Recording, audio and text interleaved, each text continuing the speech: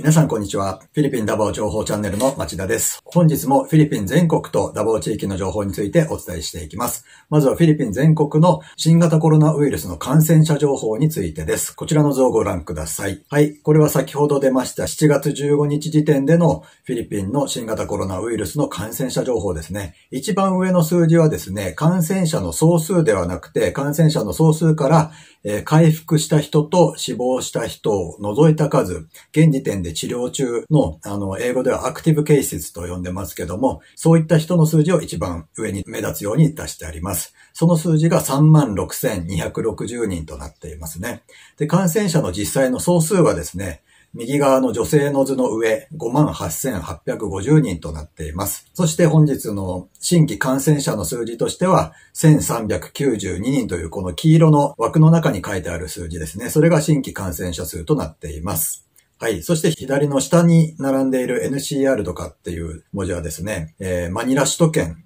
そこで708人出ました。新規感染者ですね。続いて、セブ、いろいろ、ラグーナ、カビテと、えー、順番に出ていますよということで数字も出ています。そして真ん中の、え、円グラフの中にマイルド90.6%と書いてあるんですけども、これはアクティブなケースのうち症状別にパーセンテージが分かれていまして、マイルド、症状が軽い人が全体のほとんど90.6%になっているということが円グラフで表されているものです。続いてこちらですけども、リカバリーズというのが回復者ですね。新たな回復者が517人、そして回復者の総数が2万と976人。その隣が死亡者ですね。新たな死亡者が10 11人、死亡者の総数が1614人となっているとのことですね。そしてその下のグラフは、死亡者の推移をグラフで表したものになっています。そして本日ですね、フィリピン全国で規制がですね、地域ごとに分かれているんですけども、7月16日からの規制がどのようにまた地域ごとになるかっていうのが発表される日となっています。いつも発表される日のですね、だいたい深夜になってしまうので、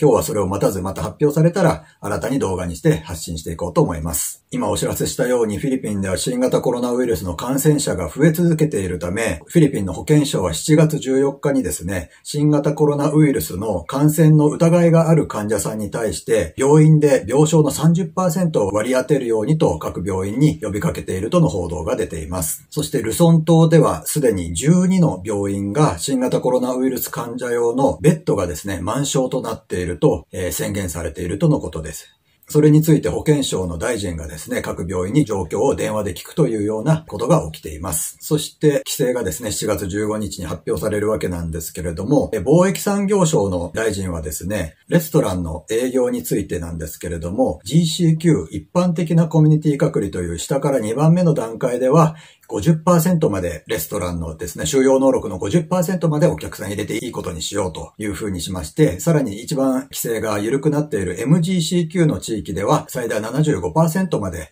お客さんを入れていいことにしようということを発表しました。続いてダバオ地域の情報です。こちらですね。こちら7月14日時点でのものなんですけれども、これ右側のオレンジ、赤、緑と並んでる色のところの数字ですけども、その左側、ニューとなっているところの下の45というのが新規感染者ですね。非常に多い数字となっています。これダバオ地域だけですので。はい。そして感染者総数が818人まで上がりました。そして死亡者が新たに4人出ていて、死亡者総数が39人。回復者が新たに1人出て、回復者の総数が458人となっていますね。はい。ということで、えー、昨日の動画でですね、ダバオ、ダバオ市ですけれども、ダバオ市は今一番規制が緩い MGCQ になってるんですが、GCQ に戻すということを国の中央から言われてまして、えー、市長としては、いや、このまま MGCQ 一番下ので行きたいですということを抗議として言ってるということをお伝えしましたけども、果たしてどうなるかはですね、この後、まあ今日発表されるとなってますけども、どうなるか、まあ実際わからないですね。ただ、このように感染者が45人のうち38人はダバオ市からから出てますので、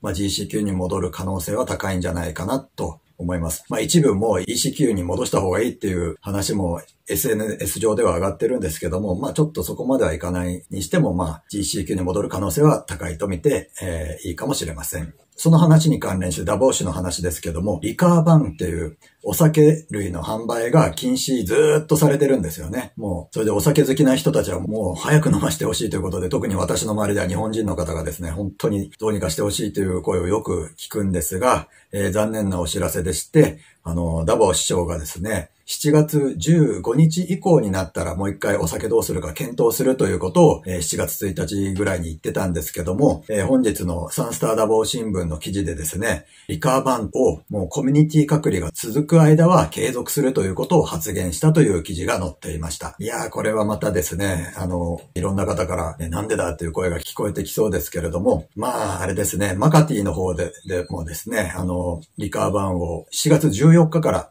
するという報道がが出ていますし、まあ、お酒はどうしてもですね、人が集まってしまうという、で、そこから感染が広まってしまうということで、はい、マカティの方でも、あの、お酒でもう10人とか100人とかですね、スカイバーというところで集まってしまって、そういう事件があったため、リカーバンをするという報道がなされていました。フィリピンはですね、あと回し飲みをする文化っていうのがね、あるんですよね。一つのグラスでみんなでこうやって回していくっていうのが、まあ、酔っ払っちゃってみんなで集まるともうどうでもいいやとかなっちゃって、そういうので感染のあの拡大につながる恐れもあるんじゃないかということを以前ダバオ市長が言ってましたね。なので、お酒は飲まない。肝臓にもいいからとにかく我慢しなさいということをダバオ市長は言ってましたね。ちなみに以前の動画でお伝えした M さん禁酒を続けていましたけれども、あの、なんと1ヶ月以上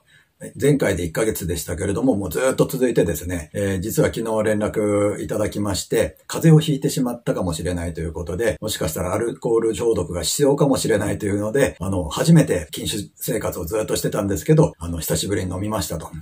苦い味がしましたということを言ってました。はい。まあ、ただ、その会があって、風もいい方向に向かっているということですので、はい。どうぞ引き続きお大事になさってください。このまま続いてダバオに関する情報ですけれども、こちらはあれですね、在ダバオ日本国総領事館の Facebook ページに載せられていた情報です。領事班からのお知らせということでですね、ダバオの総領事館に行く際は予約をしてくださいということですね。で、予約に必要な情報、希望日時、申請者の氏名、住所、電話番号、電子メールアドレス、訪問の目的を、書いて、メール、SMS、または電話で、えー、お知らせくださいということがアナウンスされていますね。はい。ダボーの総領事館今月曜日から金曜日まで空いてるそうです。で、窓口は朝の8時40分から12時半まで、そして午後の2時から4時半まで空いているんですけども、予約が必要ということですね。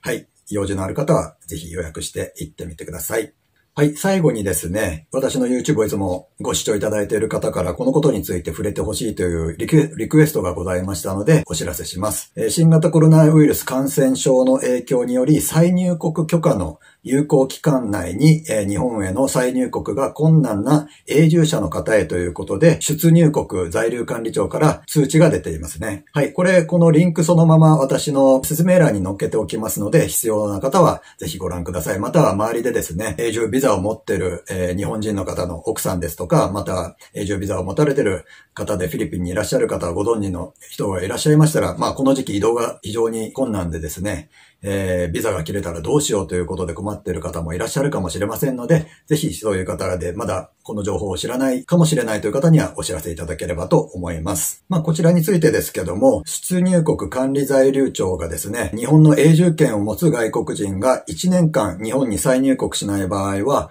永住権を取り消すとしていた規定があったんですけれども、新型コロナウイルスの流行に伴う特別措置を講じています。日本が一般の旅行者の入国を禁じているフィリピンなどの国に滞在する永住権を持つ外国人はですね、1年が過ぎても滞在国の大使館または領事館に申請を出せば、実質的に永住権を維持できるようにしたとのことです。まあ、フィリピンに住んでいたり、たまたまフィリピンに帰省していて日本に帰るタイミングを失ったという、え、例えば日本人の配偶者で永住ビザを取られている方なんかも、えー、結構いらっしゃると思います。永住外国人は日本各地の入管で再再入国許可証を取得しなくても、パスポートのみで出国、再入国ができるという制度、みなし再入国という制度があるんですね。で、ほとんどの人がこれを利用しているらしいんですが、入管難民法は、みなし再入国の期限を1年と定めていまして、それを過ぎると永住権を取り消すと定められています。このみなし再入国と呼ばれている制度で日本を出国した永住者の場合ですね、日本が対象国の一般旅行者の渡航を解禁するまで再入国の